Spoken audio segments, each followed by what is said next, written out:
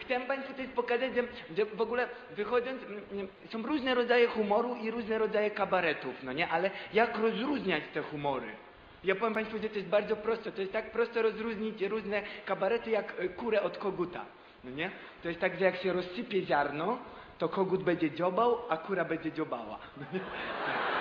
Ja myślałem, że łatwiej, że po jajach, ale to jest... Że wie, kura nosi, kogut nosi, no nie, ale się po prostu się pomyliłam. nie. W ogóle em, kabaret można, wy, mo, mo, można zacząć wyjść i takim pierwszym, lepszym dowcipem, na przykład, nie wiem, że przychodzi mucha do sklepu, mówi, dzień dobry, poproszę dwa kilo kupy. A pa, pani mówi, co? Ona gówno. Ale, ale to tak nie wypada. Po prostu nie wypada. Żart powinien być wysublimowany. Żart powinien być... Rozumiem. Czyli jedziemy Bułgary, tak?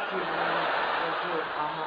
Nie, dobra, jak takie lubicie, to ja naprawdę, ja słyszałem ostatnio, ja nie wiem, czy państwo widzieli, bo je, jest taki program, on się nazywa coś tą Polską, czy coś takiego, no nie?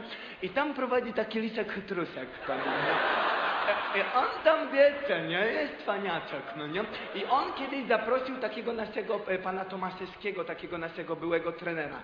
E, przepraszam, bramkarza. Oni są wszyscy po jednych pieniądzach, także to... E, e, I oni mieli rozmawiać o piłce nożnej. I, i, i, I ten pan Tomaszewski, znaczy oni mieli rozmawiać o piłce nożnej, nagle ten coś zaczynał fryzjerze, w każdym razie o jakichś wałkach. No nie, nie, nie jestem pewien. Ja tego nie kumałem do końca, no nie? Ale... Ale po prostu ten pan Tomaszewski e, mówi do tego pana Liśka Chytruska tak.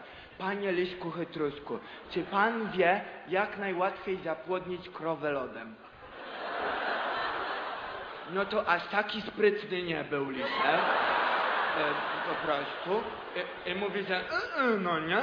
A on mówi, no bardzo prosto, postawić ją na lodowisko, to sama się wydupcy. także takie szczepaka to. Proste, no nie. To widzę, że literatura nie przejdzie, także... jeszcze je, a jeszcze jest w ogóle, ja nie, nie wiem czy czaicie, jak przychodzi mąż do żony i mówi, mówi tak, że e, nie podobały mi się w tobie trzy rzeczy. A on mówi, jakie? Podbródek.